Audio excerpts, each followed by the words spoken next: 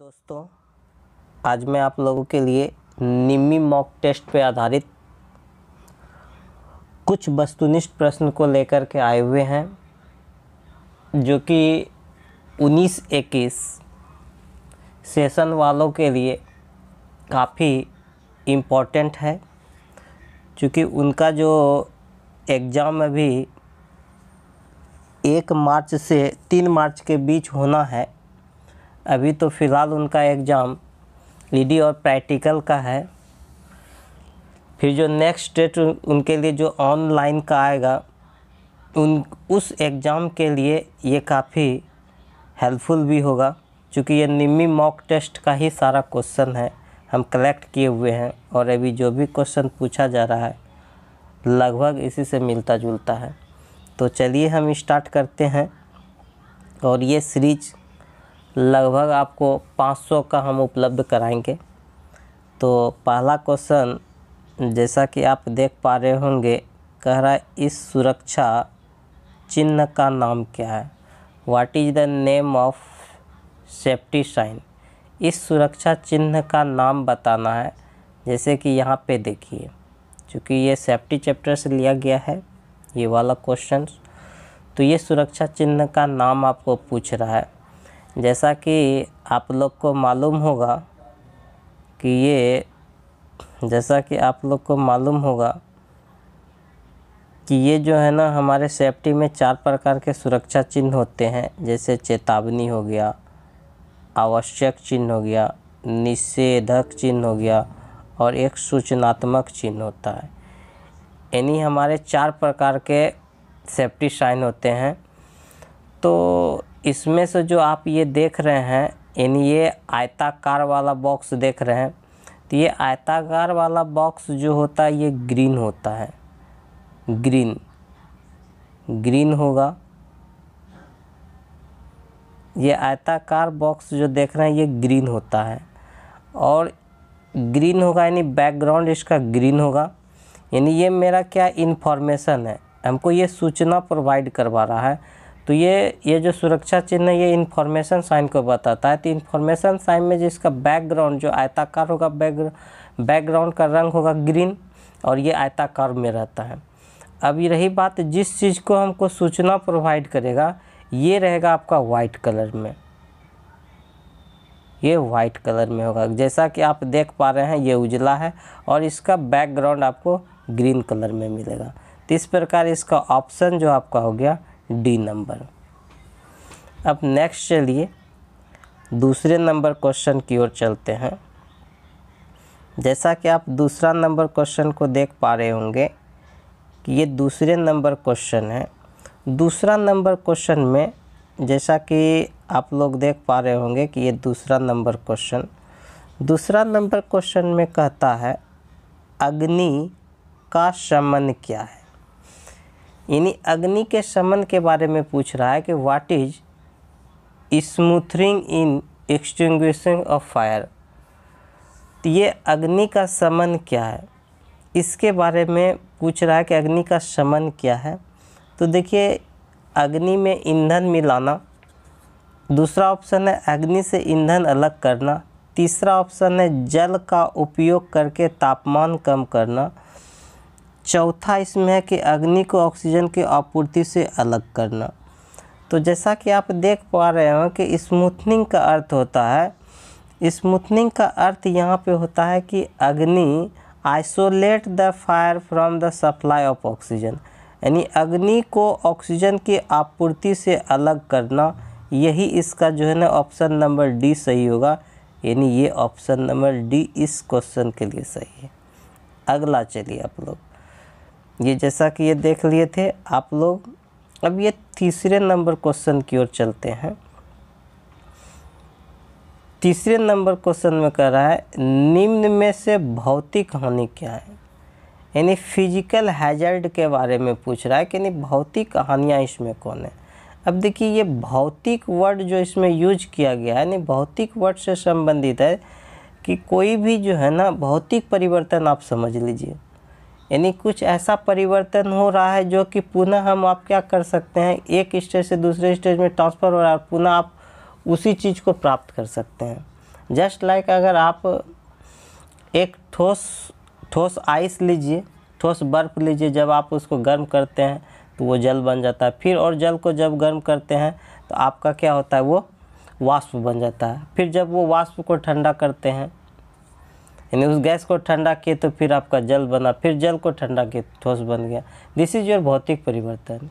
यानी एक स्टेज से दूसरे स्टेज पे तो आप चले जाते हैं, फिर पुनः उस स्टेज से अपने पूर्व की, पूर्व स्टेज में भी आप प्राप्त कर लेते हैं। तो ऐसे को ही हम लोग भौतिक परिवर्तन करते हैं। तो यानी इसमें जो ये आपका आएगा वाइब्रेशन जो ऑप्शन नंबर बी आपका सही है वाइब्रेशन ये भौतिक आपका हानि के अंतर्गत आता है। नेक्स्ट समझिएगा। चौथा नंबर क्वेश्चन को देखिए। फोर्थ नंबर क्वेश्चन की, जैसा कि आप देख पा रहे होंगे, फोर्थ नंबर क्वेश्चन। देखिए, फोर्थ नंबर क्वेश्चन में क्या कर रहा है? निम्न में से अग्निरोधक को उपयोग करने का सही क्रम क्या है? अब ये अग्निरोधक क्या होता है? Fire extinguisher. का जो हम ऑपरेट करेंगे या यूज़ करने का सही क्रम उसका बताना है कि हमको उस, किस क्रम में उसको उपयोग करते हैं। तो इसका जो क्रम होता है, सर्वप्रथम आप क्या करते हैं, किसी भी चीज़ को खींचते हैं। जब आप फायर एक्सटिंग्विशर का उपयोग करेंगे या अग्निरोधक का उपयोग करते हैं तो सर्वप्रथम उसको हम खींचते हैं। खींचने के बाद निशाना लगाते हैं। निशाना लगाने के बाद दबाते हैं, तब हम उसको घुमाते हैं। यानी ये जो ऑप्शन नंबर ए जो देख रहे हैं, यानी पहले पुल करेंगे, तब हम एम करेंगे, तब हम उसके बाद क्या करते हैं स्क्वेज करते तब स्वीप करते, यानी खींचना, निशाना, लगाना, दबाना, उसके बाद घुमाना। जो ये ऑप्शन नंबर ए जो क्या है, सही है। नेक्स्ट चलिए। नेक्स्ट जो है, पाँचवा नंबर क्वेश्चन देखिए। नेक्स्ट पाँचवें नंबर क्वेश्चन में देखिए क्या कर रहा है। पाँच नंबर क्वेश्चन ये पाँचवा नंबर क्वेश्चन को देखिए। पाँचवें नंबर क्वेश्चन में कह रहा है कि फाइव एस संकल्पना में निम्न में से कौन सा चरण स्टैंडराइजेशन को इंगित करता है? तो ये जो फाइव एस जो यहाँ पे लिया गया है तो ये फाइव एस जो मृदुल कौशल का है। तो मृदुल कौशल में फाइव एस का हम लोग प्रयोग करते हैं। तो जो कि फाइव एस मतलब पाँच एस का प्रयोग करते हैं। तो पाँच एस में जो है, यहाँ पे स्टैंडर्डाइजेशन जो है, ये मेरे चौथे क्रम में आता है। जो स्टेप जो आप देख रहे हैं, ये स्टेप फोर के अंतर्गत आता है। यानी ऑप्शन नंबर यहाँ डी क्या है? सही है। यानी पहला जो एस होता है, पहला पहला जो एस हम लोग देखते हैं शॉर्ट करते हैं। फाइव एस कंसेप्ट में पहला शॉर्ट होता है। यानी स्टेप वन में शॉर्ट करेंगे। दूसरे में हम लोग करते हैं सेटिन ऑर्डर उसको हम लोग क्रम में सजाते हैं। फिर तीसरा होता है साइनिंग करना। तब मेरा चौथे में होता है स्टैंडर्डाइजेशन करना और पाँचवें में होता है सस्टेंड करना। इस प्रकार पाँच एस का मीनिंग होता है। तो चलिए यहाँ पे जो पाँच का आंसर होगा, वो डी होगा। आप आगे नेक्स्ट देखिए। छठा नंबर क्वेश्चन कर रहा है। कि कौन से प्लायर का उपयोग तार के हुक और लूप बनाने में होता है? तार के हुक और लूप बनाना है तो कौन सा प्लायर का हम यूज़ करेंगे? तार का हुक करा है और लूप भी बनाना है।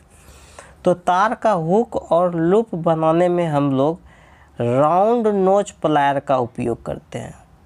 क्योंकि राउंड नोच प्लायर का जो शेप आप देखेंगे तो शायद इस शेप में आपको मिलेगा राउंड नोच प्लायर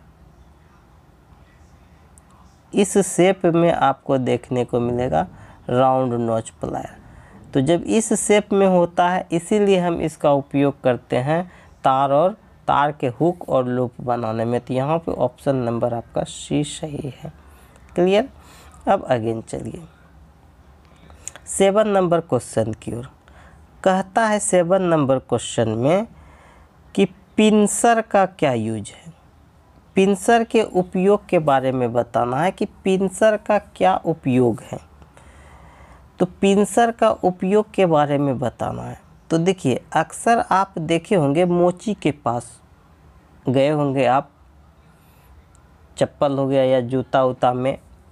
अगर वो देखते होंगे कांटी को जो है ना, चप्पल में यदि कांटी उटी ठुकवाना हो, कील ठुकवाना हो तो वो देखिएगा, अगर कील को उस कांटी को निकालने के लिए एक पिंसर का यूज़ करता है। ठीक उसी टाइप में ये पिंसर होता है। यानी हम लोग क्या करते हैं यहाँ से? लकड़ी में से पिन तथा कील निकालते हैं। लकड़ी में से पिन या कील निकालने के लिए हम लोग ही पिंसर का उपयोग करते हैं। जो यहाँ ऑप्शन नंबर सी आपका क्या होगा? इस क्वेश्चन का सही होगा।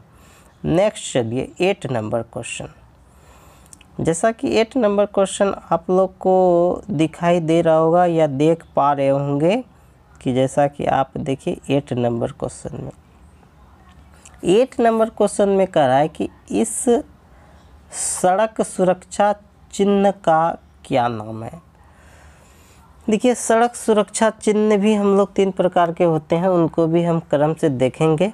आगे हम आपको दिखा भी देंगे तो पहले इसका ऑप्शन जानिए कि ये जो आप यहाँ पे देख रहे हैं, एक, दो, तीन, चार, पाँच छः सात, आठ, ये जो है ना ऑक्टल शेप में जो बना हुआ है इसमें, ये आठ आकृति में, ऐसा कि देख पा रहे होंगे, इस तरह इस तरह करके। तो ये मेरा क्या है, सुरक्षा चिन्ह में ये हमको मैंडेटरी साइन को बताता है।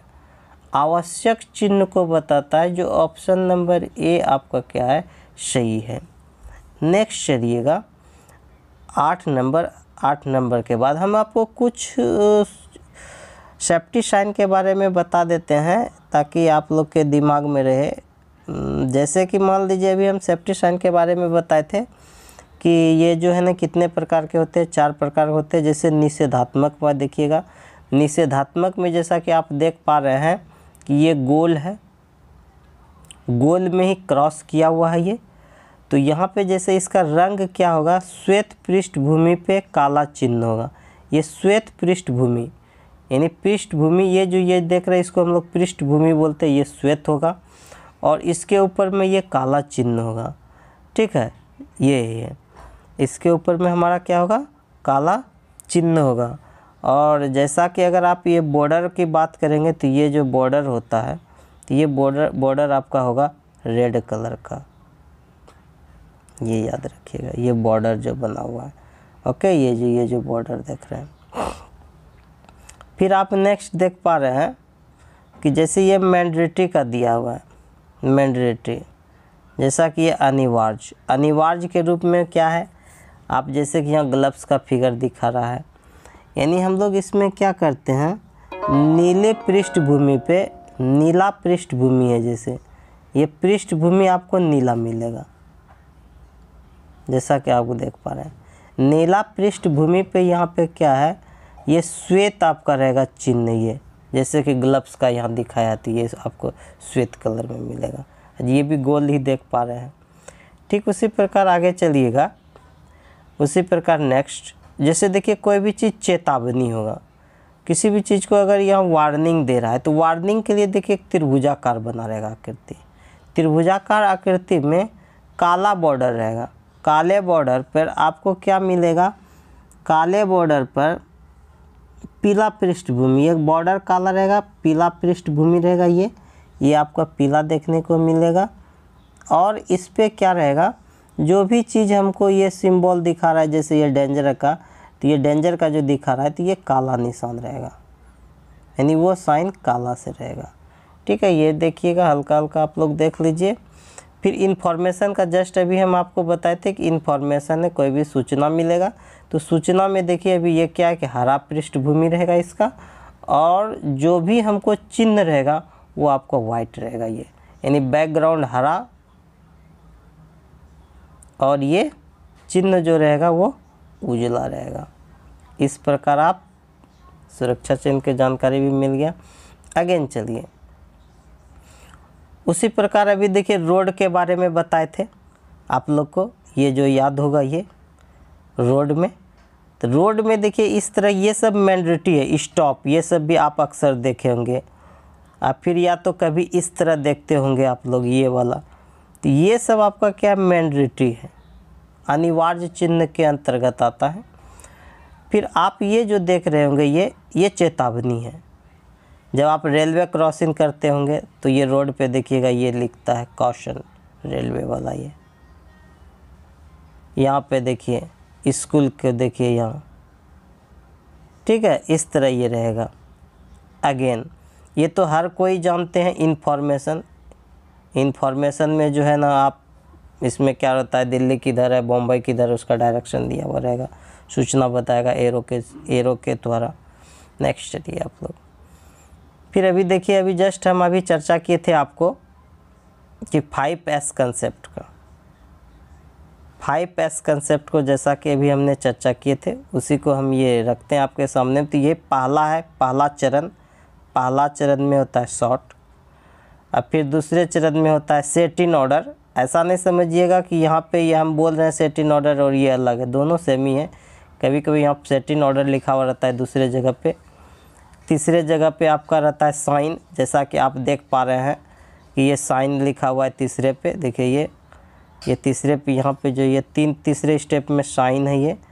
और चौथे में देखिए यहाँ पे स्टैंडर्डाइजेशन है। और पाँचवा, यहाँ देखिएगा, पाँचवा सस्टेंड ये चौथा हो गया, ये पहला हो गया, ये दूसरा हो गया। इसको भी क्रम याद रखिएगा, आपको एग्ज़ाम में पूछेगा तो आप बता सकते हैं। नेक्स्ट चलिएगा। अब नेक्स्ट क्वेश्चन की ओर चलते हैं।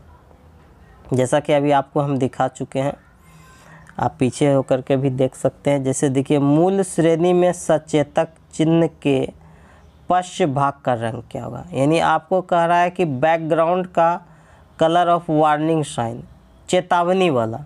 चेतावनी में बैकग्राउंड का कलर कैसा आपको देखने को मिलेगा? अभी जस्ट हम आपको बताएँ कि वो चेतावनी में जब कोई भी रहेगा तो वो त्रिभुजाकार रहता है। कोई भी चीज़ का आपको चेतावनी देगा तो उसका बैकग्राउंड आपको पीला मिलेगा। और पीले पे ही हम लोग क्या करते हैं इस पर पीले पे, जैसे ये डेंजर का साइन है तो काला दिखाएँगे। ओके तो ऑप्शन नंबर सी इसका सही होगा। दस नंबर को देखिए। दस नंबर क्वेश्चन में कह रहा है, विद्युत उपकरण में लगी अग्नि हेतु कौन सा अग्निशमन का प्रयोग किया जाता है? विद्युत उपकरण में लगी अग्नि हेतु कौन सा अग्निशमन का प्रयोग किया जाता है? तो अग्निशमन के लिए हम लोग चार प्रकार का यूज़ करते हैं। लेकिन अगर विद्युत में विद्युत में जब कोई भी आग लगता है तो हम हेलोन टाइप का यूज़ करते हैं या इसी जगह पे आपको मिलेगा सीटीसी कार्बन टेट्राक्लोराइड भी ले सकते हैं। अगर हाइलोन है तो हाइलोन लगाइएगा और अगर सी हाइलोन नहीं है तो सीटीसी लिखा हुआ रहेगा। कार्बन टेट्राक्लोराइड, क्लोराइड तो हम उसका उपयोग करेंगे। नहीं, ऑप्शन नंबर ए आपका सही है। नेक्स्ट लिएगा आप लोग। ग्यारह नंबर क्वेश्चन में कह रहा है कि अवशिष्ट निपटान विधि कौन सी है जो गर्मी पैदा करती है? अवशिष्ट निपटान विधि। तो अवशिष्ट निपटान विधि जो है, जो गर्मी पैदा करेगा तो वो खाद डालना होता है कंपोजिटिंग ठीक है? तो वो क्या होगा? वो खाद डालना। जो ऑप्शन नंबर बी आपका क्या है? सही है। नेक्स्ट चलिए। बारह नंबर। बारह नंबर क्वेश्चन में कह रहा है कि धुएँ से सुरक्षा के लिए किस व्यक्तिगत सुरक्षा उपकरण का उपयोग किया जाता है? देखिए डबल पी का हमेशा फुल फॉर्म पूछता है तो इसका फुल फॉर्म होता है पर्सनल प्रोटेक्टिव इक्विपमेंट। जिस, वैसा उपकरण जो किसी व्यक्ति की सुरक्षा करता है, उसी को हम लोग कहते हैं पर्सनल प्रोटेक्टिव इक्विपमेंट। तो वही बोलता है, धुएँ से सुरक्षा के लिए, जैसा कि देख पा रहे हैं, हमको धुआँ से सुरक्षा करना हो तो हम क्या लगाएँगे? नोज़ मास्क लगाएँगे। नाक कवच, अभी जैसे कोरोना चल रहा है तो आप लोग मास्क लगाते हैं ना तो ऑप्शन नंबर डी सही है। अगेन चलिए तेरह नंबर। तेरह नंबर में कहता है कि full form of B I S B I S का फुल फॉर्म क्या होता है? तो ये चूँकि भारतीय विद्युत से संबंधित कुछ नियम बनाता इसलिए इसमें बी आई एस का फुल फॉर्म पूछता है। तो बी आई एस का फुल फॉर्म होता है bureau of Indian standard bureau of Indian standard इसका फुल फॉर्म होता है। बी से ब्यूरो आई से इंडियन एस से वह स्टैंडर्ड तो यहाँ पे ऑप्शन नंबर बी आपका राइट आंसर है। अगेन चलिएगा। चौदह नंबर क्वेश्चन है। कहता है कि भारी भार उठाने और स्थानांतरित करने के लिए किस पद्धति का उपयोग किया जाता है? देखिए, भारी भार उठाना है और उसको स्थानांतरित करना है। Which method use for lift and move heavy load तो किसका हम लोग उपयोग करते हैं? विंच का करते हैं कि अब नेक्स्ट ऑप्शन चलते हैं, आपको चौदह का इधर दिखाएँगे। ये चौदह का ही क्वेश्चन का ऑप्शन है। तो हम भारी भार को उठाने के लिए जो है ना, स्थानांतरित और उठाने के लिए हम लोग किरेन और स्लिंग का उपयोग करते हैं। किरान और स्लिंग का जो ऑप्शन नंबर बी सही है। अगेन चलिए। पंद्रह नंबर क्वेश्चन कहता है कि पंद्रह नंबर क्वेश्चन को देखिएगा आप लोग। पंद्रह नंबर क्वेश्चन में कहता है, आग बुझाने में स्टॉर्विंग क्या है? आग बुझाने में एक स्टॉर्विंग वर्ड होता है, वो क्या चीज़ होता है? आग बुझाने में स्टॉर्विंग। स्टॉर्विंग के बारे में पूछ रहा है। तो आग बुझाने में स्टॉर्विंग का अर्थ ये होता है कि जल का उपयोग करके तापमान कम करना। यानी हम लोग यहाँ क्या करते हैं? Removing fuel element from the fire जो यहाँ पे ऑप्शन नंबर सी सही है। अगेन देखिएगा, सोलह नंबर क्वेश्चन कि जैसा कि आप लोग देख पा रहे हैं सोलह नंबर क्वेश्चन में, सोलह नंबर क्वेश्चन में ये ट्रिपल पी है double P, sorry, double P, personal protective equipment है। का यहाँ पे एक फिगर दे दिया गया, ये देखिएगा। तो अभी आप लोग देखते होंगे कि कोरोना का समय चल रहा है। जब भी आप मोल उल जाएँगे तो आप हैंड को नीचे लगाएँगे तो आपका वहाँ से क्या होता है? जो आप अभी कोरोना काल चल रहा है तो आप देखें सैनिटाइज़र आप यूज़ करते हैं। तो वही जस्ट लाइक ये जो दिखा रहा है आप, जैसा कि ये देख पा रहे हैं, ये आपका क्या है? हैंड स्क्रीन है। हैंड स्क्रीन जो यहाँ पे ऑप्शन नंबर डी सही है आपका। ओके नेक्स्ट चलिएगा। सत्रह नंबर क्वेश्चन सत्रह नंबर क्वेश्चन देखिए क्या कहता है? अवशिष्ट निपटान विधि कौन सी है जो बहुत सारी ऊर्जा बचाती? अपशिष्ट अपशिष्ट कह रहा है। अपशिष्ट निपटान विधि कौन सी है जो बहुत सारी ऊर्जा बचाता है? तो बहुत सारा ऊर्जा बचाने का एक ही साधन है रिसाइकलिंग पुनःचक्रण है। पुनः चक्रण करके हम क्या कर सकते हैं? बहुत सारे ऊर्जा को बचा सकते हैं, जो ऑप्शन नंबर बी आपका क्या है? तो सही है। तो दोस्तों, आज सत्रह क्वेश्चन ऑब्जेक्टिव करा चुके टूल्स और सेफ्टी का। नेक्स्ट डे और इसके आगे ऑब्जेक्टिव को देखेंगे। और इस तरह हम लगभग आपको 500 ऑब्जेक्टिव करा देंगे, ताकि जो आपका फ़र्स्ट ईयर का भी जो एग्ज़ाम होने वाला है, मार्च में ऑनलाइन सीबीटी उसमें आपको इससे बाहर क्वेश्चन पूछेगा ही नहीं।